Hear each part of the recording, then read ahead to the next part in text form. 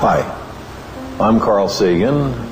This is a place where I often work in Ithaca, New York, near Cornell University.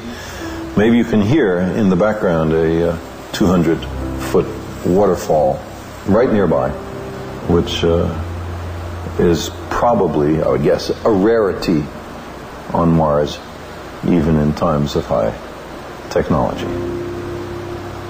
Science and science fiction have done a kind of uh, dance over the last century, particularly with respect to Mars.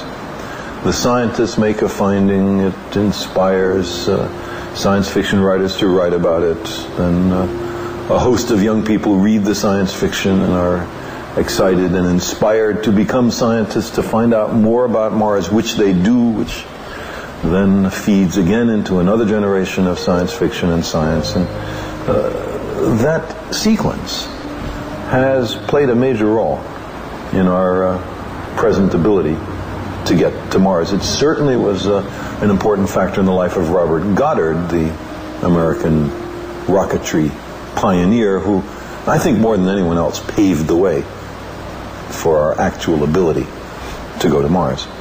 And it, uh, it certainly played a role in my scientific development. I don't know why you're on Mars.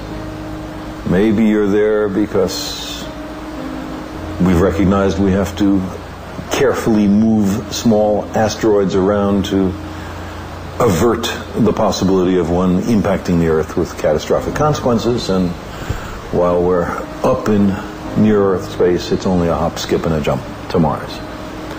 Or uh, maybe we're on Mars because we recognize that if there are human communities on many worlds, the chances of us being rendered extinct by some catastrophe on one world is, uh, is much less.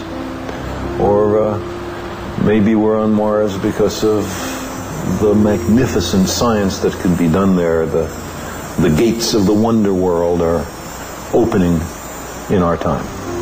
Or maybe we're on Mars because we have to be, because there is a deep nomadic impulse built into us by the evolutionary process.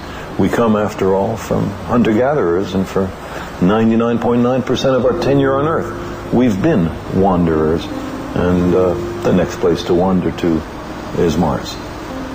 But whatever the reason you're on Mars is, I'm glad you're there, and I wish I was with you.